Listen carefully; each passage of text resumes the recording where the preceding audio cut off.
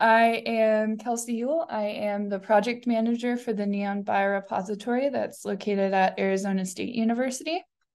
Um, and uh, quick overview of what I want to talk about is just uh, what the biorepository is, what biodiversity occurrence records are because that's the kind of data that we work with um, with the um, biorepository that is um, you know overlapping but not the same as the type of uh, ecological data you would find in the main neon data portal. Show our biorepository portal and how you would find or download samples. Um, really quickly uh, just bring up how you can access our samples and acknowledge biorepository samples and publish your own data through the biorepository portal, which is unique. Um, the main NEON portal uh, does not um, typically pull in um, data from external researchers in the way that we can. So it's a more unique way to get um, some visibility for your own research within an official Neon data portal, which I think is particularly cool. And then kind of a demo slash scavenger hunt where um, I will actually use the portal to go find um, a couple of different things like a typical user might do. So first, um, uh, we all probably know what NEON is. Um, of course, there are these 81 terrestrial and freshwater sites. Um, and the main thing I want to say about them is that um, in addition to all of the amazing data that NEON is taking, they are also collecting samples at all of those sites. And we at the NEON Biorepository consider ourselves um, like a turntable that pulls in neon samples and data and then um, provides them out again to researchers to um, do novel things with neon samples um, that then um, come back to the neon biorepository portal and further um, you know enrich the um, the ecological data community um, so we operate using FAIR principles. So um, in in keeping with Neon's main data portal, we are also you know concerned with the findability, accessibility, interoperability, and reusability of data. So that's something um, we just always keep in mind. Um, as as we are working with uh, biorepository data and samples. We have the same kind of outlook for um, the samples themselves physically as well as the data. So as I said, uh, physical samples are collected at the NEON field sites. They go, um, are brought into the NEON domain facilities. Then they might either go to um, external contractors who do all sorts of interesting like um, genetic or genomic or biogeochemical um, analyses on them, or they'll go directly to the biorepository. Pretty much all samples end up um, being curated at the Neon Biorepository at ASU.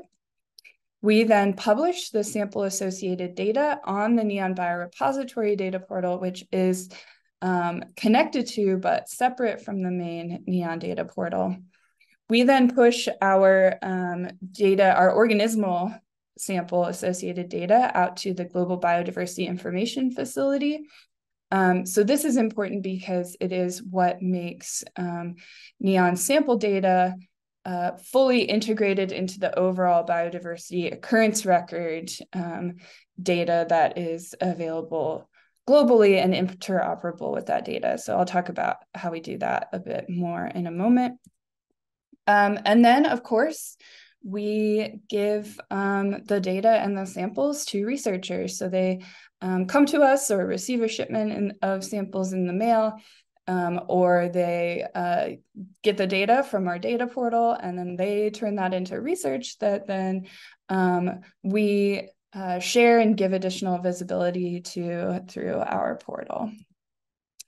So we get a variety of different samples every year, um, about uh, uh, 80 to 100 plus uh, thousand samples um, each year. They um, have a wide taxonomic spread. Some of them look like typical natural history collections, specimens like a pressed voucher or a pinned insect. And then some are quite different. They might be environmental samples like dried soils. They might be a bulk community sample like the bycatch from Neon's pitfall trapping or um, actually 65 ish percent of the neon samples are cryo samples. So they are um, either whole organisms or tissues or microbial samples that um, are frozen uh, according to the best practices for um, making their data potential um, uh, available in the long term. We currently have over 421,000 samples that um, represent over 3,400 identified taxa. Of course, we have these bulk samples that um, have a lot of unlocked uh, diversity within them as well. So um, there's more taxonomic spread in our collections than can be represented by the names that you'll see attached to an individual sample in the portal. So we um, trade in biodiversity occurrence records in the um, natural history collections community. These um, these data uh, follow Darwin Core standards, um, which is a standard that is developed and voted on by the Biodiversity Information Standards um, Group or TDWG. Um, it means that all of the records associated with neon samples have um, are following this stable, straightforward, and flexible framework for compiling biodiversity data from a variety of different sources. So neon data associated with um, a collecting event in the field might will look really different depending on the protocol that it comes from but we translate all of that at the sample level into these um, well-defined fields that really represent you know taxonomically what is this thing um, who identified it as that where and when was it collected um, if when relevant um, you know what life stage was it what was its reproductive condition the habitat that it lives in. But all of those are kind of um, standardized across all of the different collections that we publish the Neon Biorepository Data Portal is a Symbiota software-based collections portal. This is a really commonly used um, uh, software for managing and publishing um, biodiversity occurrence records. And it's an aggregator that brings in data um, often from different sources and then um, allows collections managers to both manage it within the portal and then um, it's published out to the community. Um, I just want to point out that Symbiota, um, there are many of these portals and they will represent different uh, taxonomic groups or um, locations or research projects associated with samples and biodiversity records. And so pretty much everything I'm going to talk about with using the Neon Biorepository um, data portal would apply to how you would interact with any Symbiota portal. So this is a broad uh, data skill to be learning. Um, this is what uh, an example of what a um, full record that you might see in the portal would look like, and just those those kinds of Darwin core fields that I brought up um, earlier are all um, present there. And this is yeah what it will look like when you pull up a record on the site, but then you can also download the data in the standardized version for many, many samples or specimens at once. So how you use um, the portal. I'll go really quickly through this because we'll actually um, demo it later on. So the portal looks like this, like I've already shown. This is the homepage for it. Uh, the primary way that someone might want to use the portal is through this um, sample search option in the menu. You'll see then a what we call a search form that has a bunch of different criteria that you can use to then filter uh, the search results. So if you just went to the sample search and then said, click that search button on the right, you would get every single um, sample that uh, we actually have at the biorepository in those results. But then, of course, you can filter that in a bunch of different ways before you get your search results. Um, all of these menus um, or criteria in the portal um, are in these accordion menus, so you can open or close those um, uh, depending upon what criteria you're interested in looking for. Um, and then whatever you are searching for will show up as chips on the side there um, as criteria and you can you know x out of those if um, you don't want that criteria anymore etc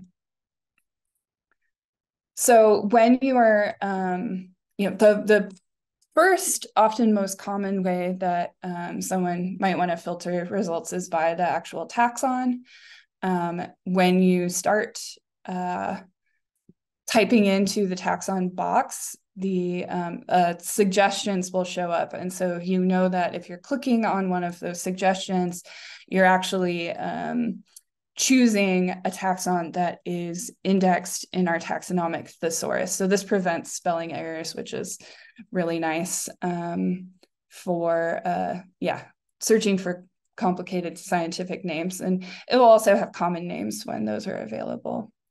And just going back real fast, I want to um, point out that here in this example, we have algae, which is not an actual, um, you know, evolutionary taxon.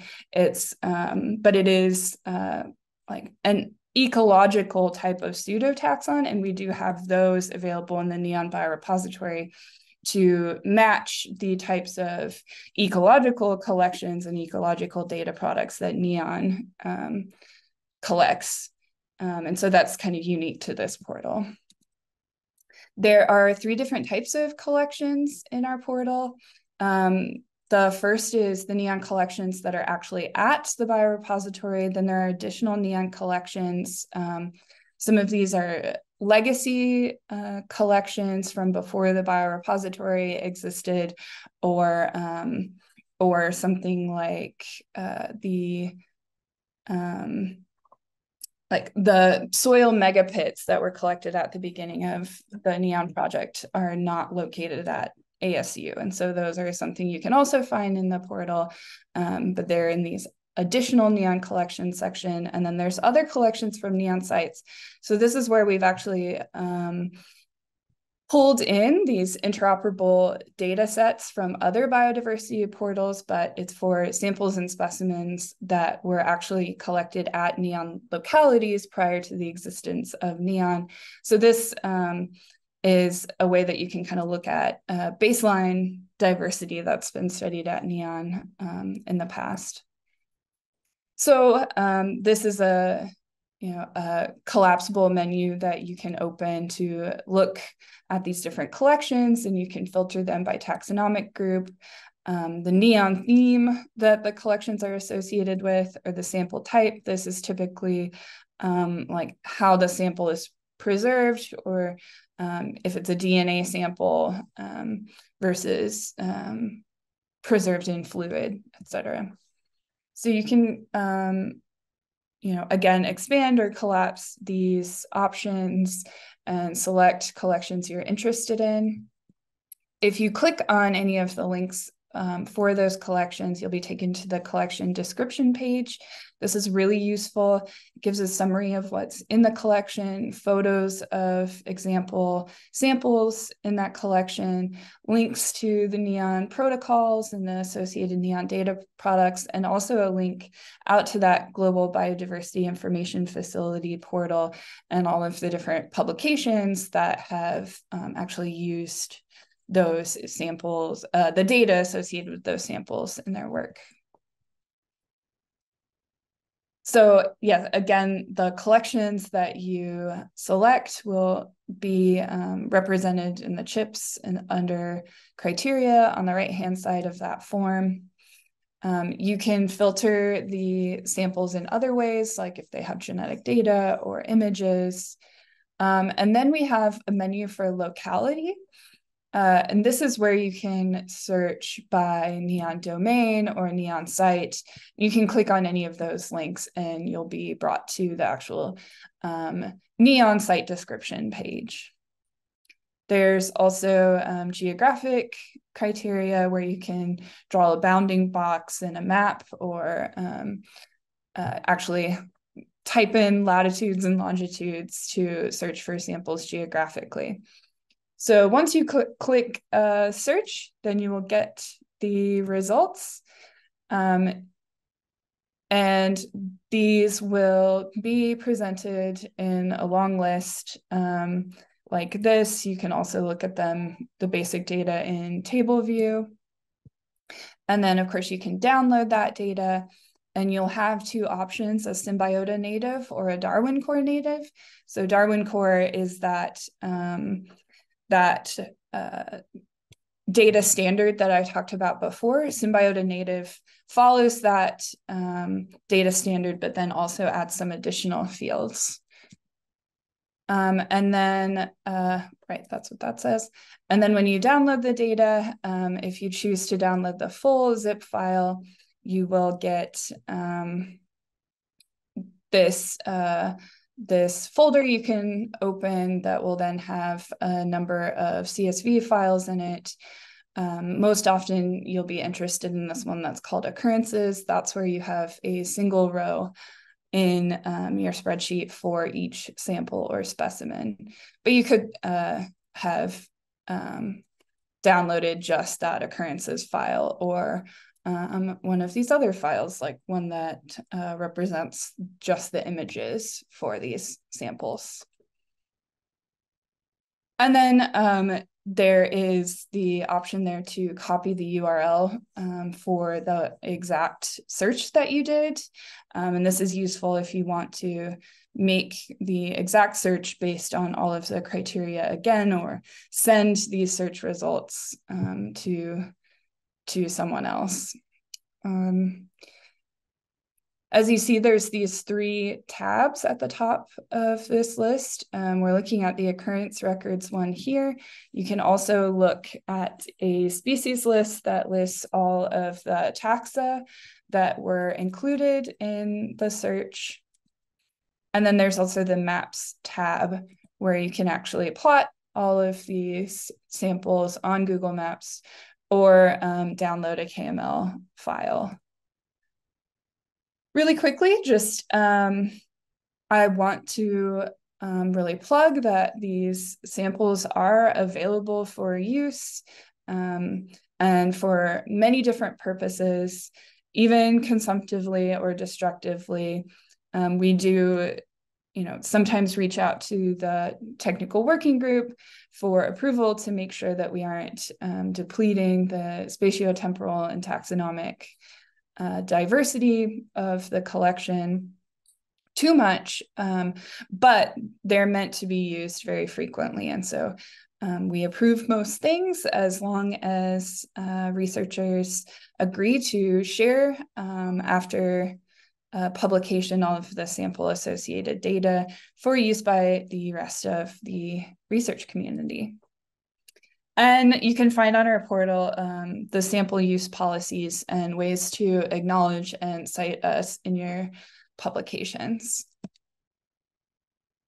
And there is a form that you can fill out um, to request samples or also um, you know, I recommend just reaching out directly uh, to biorepo at asu.edu.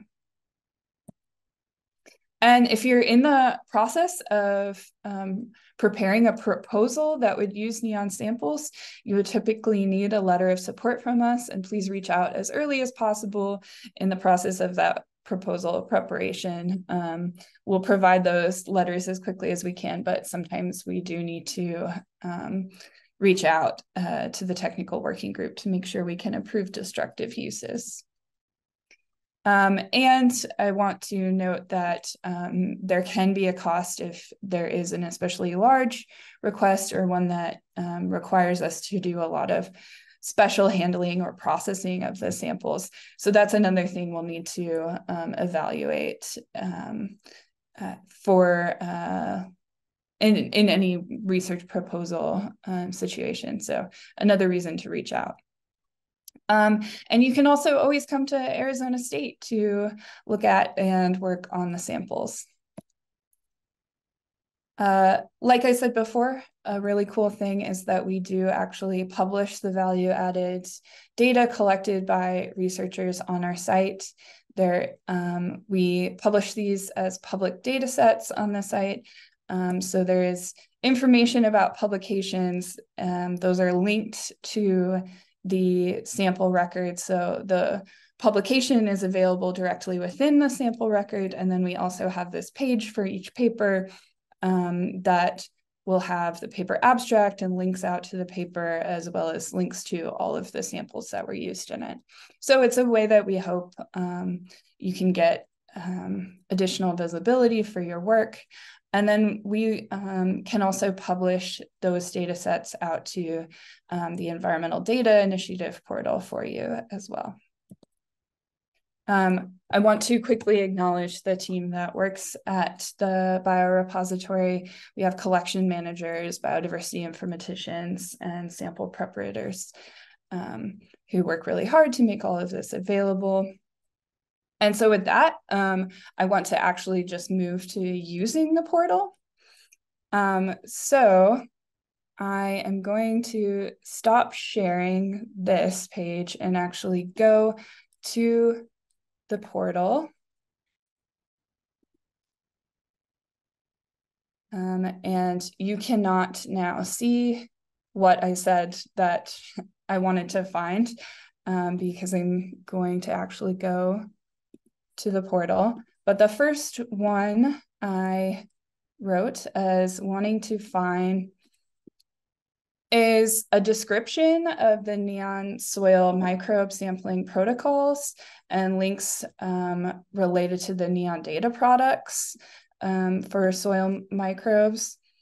And so um, how I would do that is I would go to our portal and I'll just point out that our portal homepage also has uh, those nice um, uh, summary statistics that are always kept up to date, and you can actually um, click on these as links and then there that was a very easy way to see every single environmental sample that we have. So those would be like soils and um, aquatic sediments um, etc um, but uh, if i want to find those soil microbe protocols, um, what I would do is go to find the soil microbes.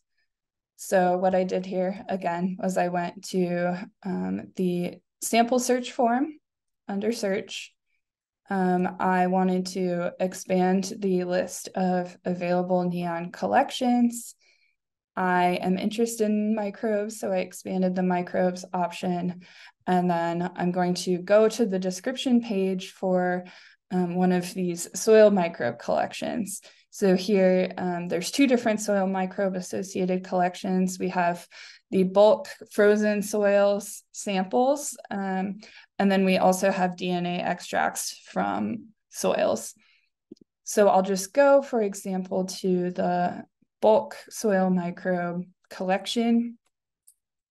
Here you can see a description of what these samples are, then pictures of what samples look like. This is different um, uh, housing types that NEON has used over the years. Um, back in the early years, they used these Whirl-Paks, but now they're um, in these nicer uh, vials.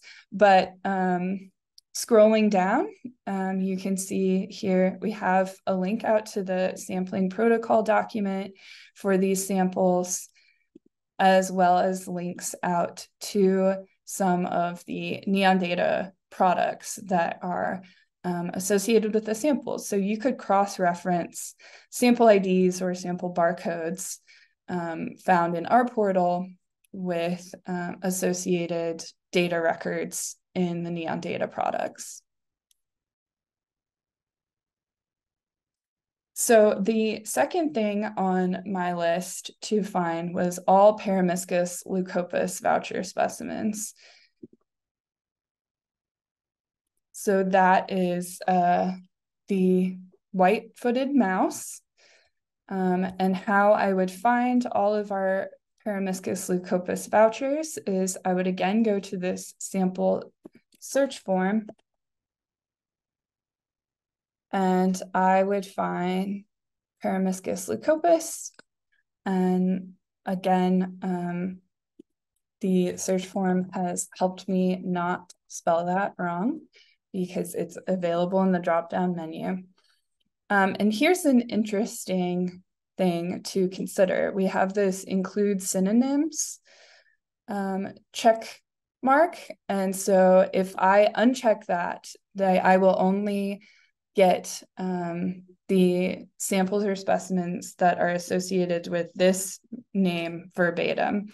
If I include synonyms, then I will get um, any other taxonomic names that are determined to be the same. So if the, the taxon name has changed over time because the, um, the group has been revised, then um, those samples or specimens will come up as well.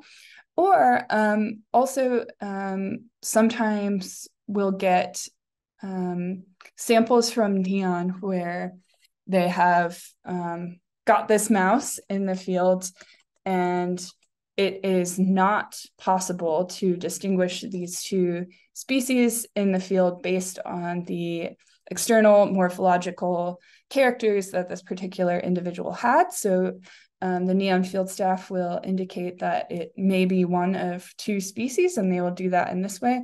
And if we include synonyms, then we'll make sure to get um, samples associated with either one of these names.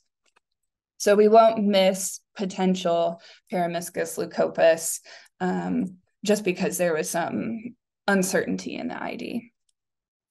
Um, so we want all Peromyscus leucopus. I'm going to include synonyms because I do want them all. Um, and then we want vouchers only. So like I said, um, this is a mouse.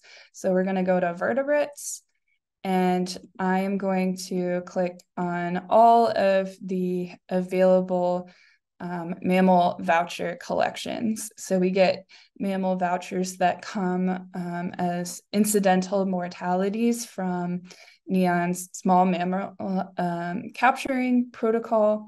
We'll get those from outside of standard sampling. So this is um, if uh, a mortality is found outside of typical protocols, that is also archived for research. And then um, occasionally a small mammal will fall into the um, pitfall traps that are put out for beetle sampling. And we also prepare and archive those um, individuals. So I'm going to look across all three collections here. Um, and yeah, I wanted them all. So I am going to do that search. We have 75 of these vouchers you can see in some of these cases, we have these ones where um, these are from the ground beetle um, sampling, where they are this um, uncertain ID. And then we have um, basically the rest of them, the ID is certain. If we went to the species list, we would see this, these two different options. Um, and so I want to look because I also put on my scavenger hunt that you can't see anymore.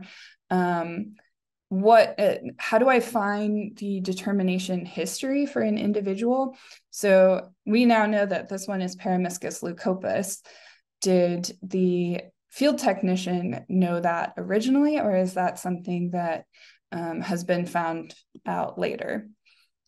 And so here we can go to the full record details. Oh, you probably can't see this because this came up in a new window. Um, I'm sorry, I will bring that over. Okay, um, here we have that individual and um, it uh, we can see the full details for this individual. And um, we can see that um, it is determined as Peromyscus leucopus. Um, it was determined here by Laura Steger, who actually works at the biorepository. And she has given this reference where she has, um, after the specimen came to the biorepository, she has actually um, followed the protocol in this paper um, to um, actually genotype this specimen. So we can see the identification history and here um, it actually was um, also determined to be Peromyscus leucopus um, based on uh, the fieldwork as well as the um, the sequence in BOLD. So this one we are very sure of. Um, but we may not have had that certainty um, for some of these specimens. Well, I've I've found two good ones, but often there is this um, field uncertainty um, that then um, may later be corrected, and uh, the new um, identification information can be found in the biorepository portal. Um, and I also want to point out that you can see here in the records like this that um, we also have material samples associated with the specimen.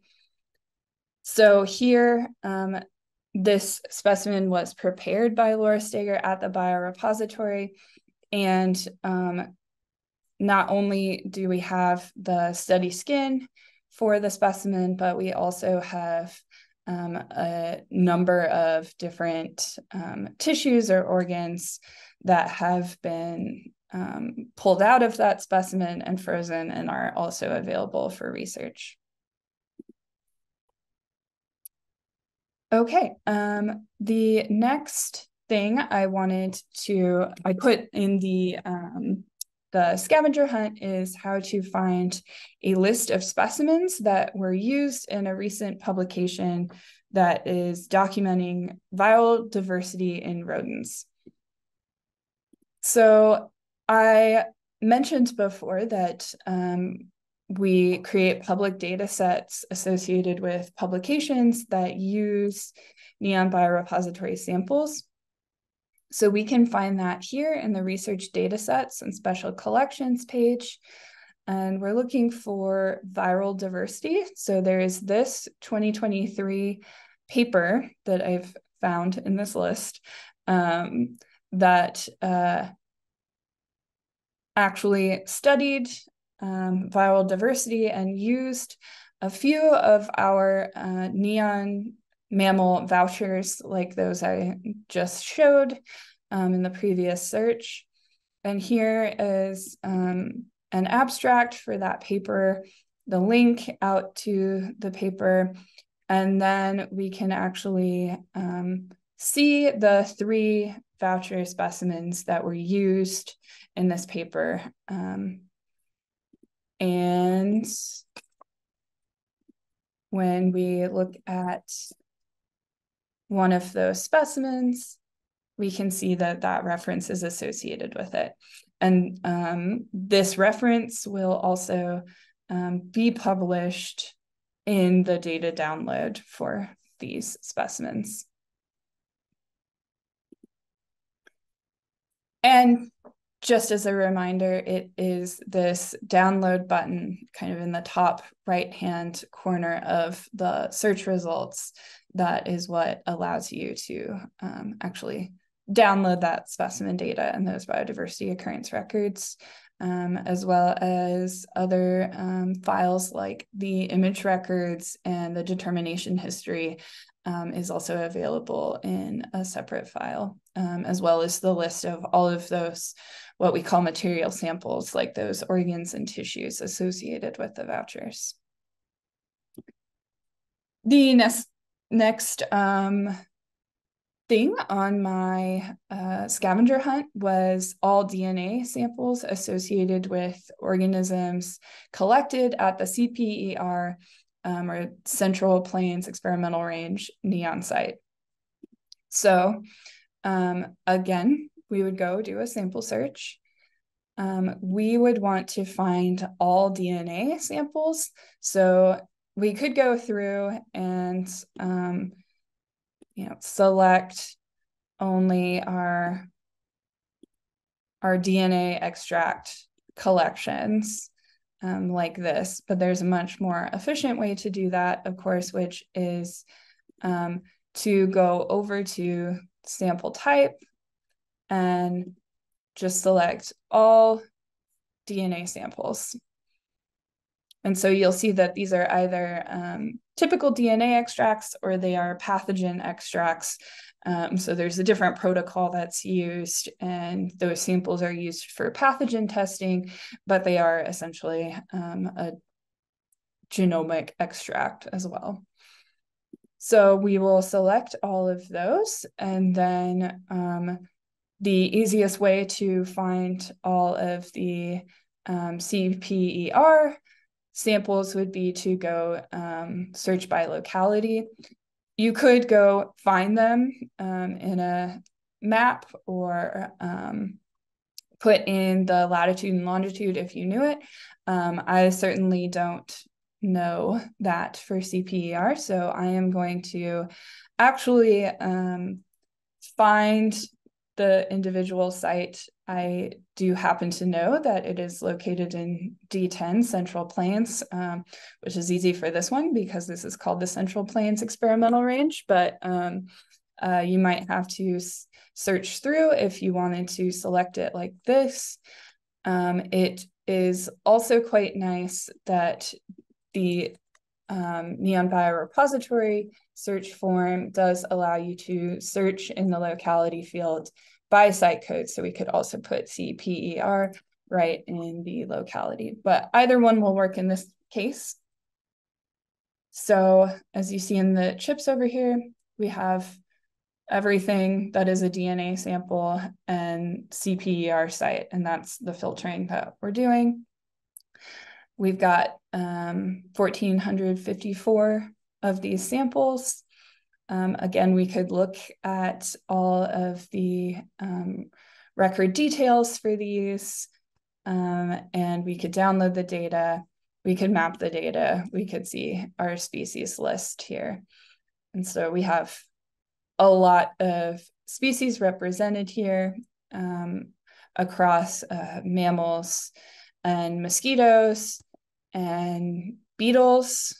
Um, there are also microbial DNA extracts that would be included in this search result, but they do not have a defined taxon, of course, because they're um, a bulk um, sample. So they won't show up in the taxa count, but they are here in um, our uh, in our search results overall list. And then the last thing I wanted to do is um, another search, um, but this time I am asking the uh, what the number of unique taxa within the Asteraceae family is collected at um, neon sites in the Western continental US. And you might be able to see how you would do that already um, using the search form but I thought I would not want to miss out on at least showing what the map search would look like, um, where you could do this same sort of search. So this brings up um, a Google Map view um, of the whole world, um, but we want to filter it and let's say we want this uh, western half of the continental US. Of course, my um, my prompt here is not an exact thing, but we'll say that this is the western US. We want all Asteraceae. So this is the sunflower family of plants.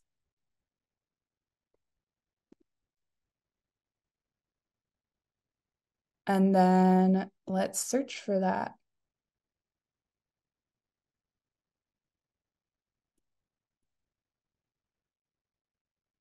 So these are all of the um, sunflower uh, family uh, samples that were collected by NEON in the Western continental US. And if we want to see those taxa, um, uh, in the map search, we can go over to this taxa list tab. So there are 325 different taxa um, that meet these criteria that were collected by NEON and are available in the NEON biorepository data portal. And um, in the same way as with the regular sample search, you can um, download all of these records directly from the map search. So that's just um, an alternative way of searching for neon samples using our data portal. Um, so that was what I had um, to share today, and I'm really um, happy to answer any questions about how to use our portal or how to access samples, um, whatever folks might be interested in. Um, yeah.